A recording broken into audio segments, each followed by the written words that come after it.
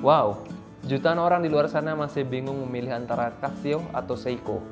Tapi bagaimana jika pada video kali ini saya akan mencoba membandingkan dua brand tersebut? Simak terus video kali ini.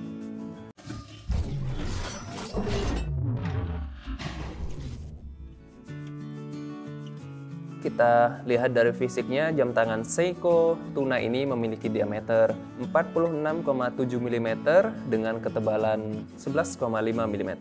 Dan Casio G-Shock Master ini memiliki diameter 55 mm dengan ketebalan 17 mm. Nah, untuk kalian yang memiliki pergelangan tangan yang lebih besar, Casio G-Shock ini mungkin lebih pas di tangan kalian. Tapi kita lihat dulu spesifikasi yang lainnya yang bisa kalian jadikan perbandingan memilih Casio G-Shock Master ini atau Seiko Tuna. Lalu kita lihat dari kemampuan water resistnya, kedua jam tangan ini sama-sama memiliki water resist hingga 200 meter yang artinya sudah bisa digunakan untuk berenang maupun menyelam tentunya. Dan yang pasti yang Seiko Tuna ini sudah bisa dipastikan bisa digunakan untuk menyelam karena ini merupakan keluaran dari Seiko Prospect Series. Nah, Kemudian untuk material kacanya, untuk Casio G-Shock Master ini masih menggunakan mineral crystal glass dan Seiko Tuna sudah pasti seperti standarnya Seiko yang menggunakan hard legs jika kalian masih bingung perbedaan dari material kaca jam tangan, bisa klik link di pojok kanan atas sini.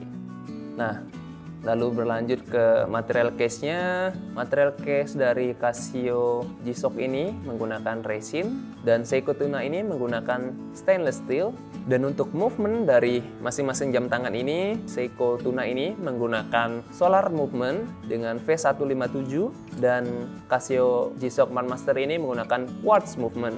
Dan untuk Casio G-Shock Master ini sudah memiliki twin sensor, memiliki fitur kompas dan temperatur sensor. Di mana fitur kompasnya kalian bisa tekan tombol yang ada di sebelah kanan sini. Dan usia dari baterai jam tangan ini tergantung kepada pemakaiannya kurang lebih 2 tahun untuk pemakaian yang wajar.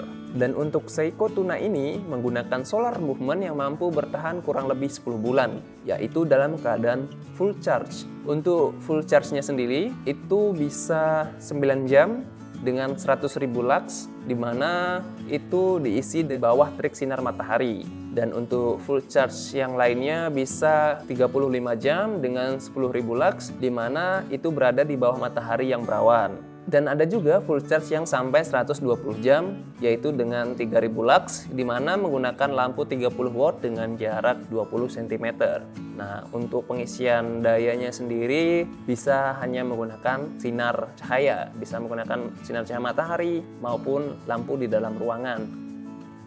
Kemudian kita lihat ke displaynya. Ke dial displaynya untuk Casio G-Shock Master ini di mana di sini ada hour marker, kemudian indeksnya menggunakan angka untuk penunjuk angka 12, 3, 6 dan 9. Dan untuk penunjuk angka yang lainnya cukup menggunakan garis seperti ini. Kemudian di atas second marker terdapat 360 degrees bezel dan memiliki three hand yaitu second hand, hour hand dan minute hand. Kemudian ada juga penunjuk angka digitalnya memiliki mode dial hand seperti timer, alarm, stopwatch, dan work time.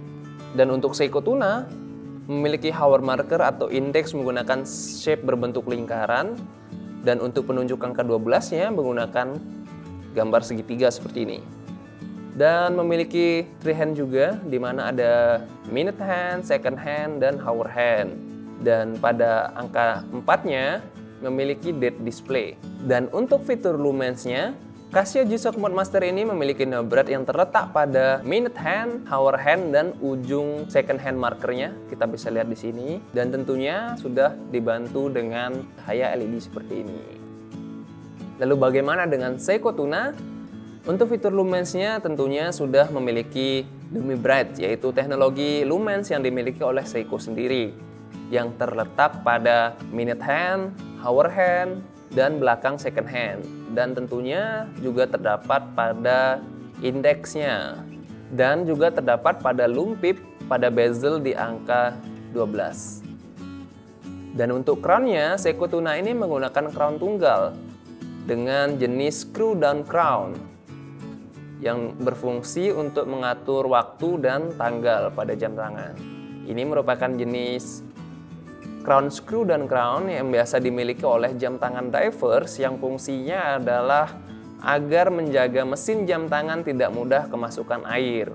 Nah, jadi sebelum mengatur waktu jam tangan, kita terlebih dahulu harus memutar crownnya terlebih dahulu, kita putar dan setelah terbuka baru kita tarik. Dan tarikan pertama itu adalah untuk mengatur tanggal. Dan tarikan yang kedua adalah untuk mengatur waktu pada jam tangan. Nah, dan tentunya setelah semua diatur dengan tepat, jangan lupa untuk menutup kembali crownnya dan memastikan crownnya sudah terkunci agar air tidak mudah masuk ke dalam mesin jam tangan sehingga jam tangan ini aman digunakan untuk berenang atau menyelam.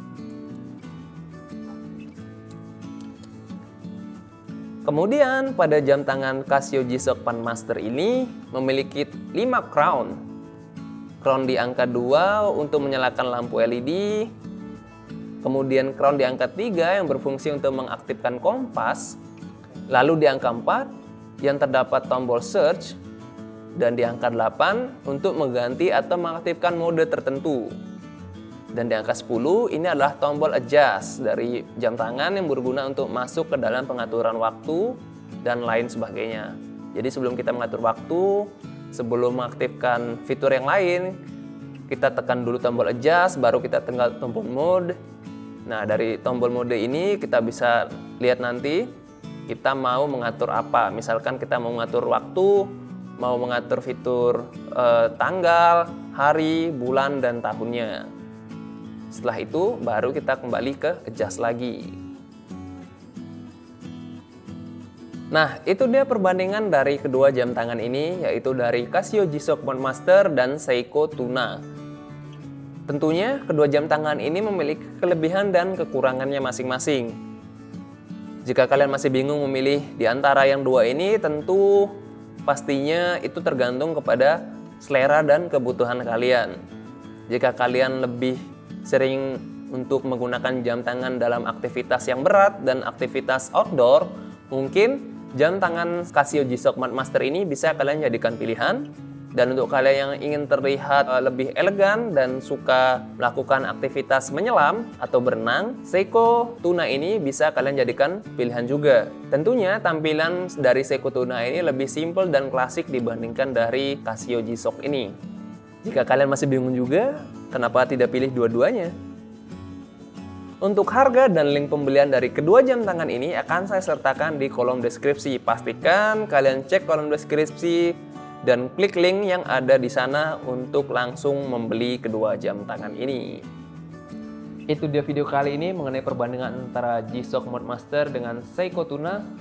Semoga video kali ini bermanfaat dan jangan lupa like, komen, dan subscribe untuk menunjukkan dukungan kalian pada channel ini agar bisa terus berkembang. Dukung terus Mahwatch untuk menjadi channel jam tangan nomor satu di Indonesia.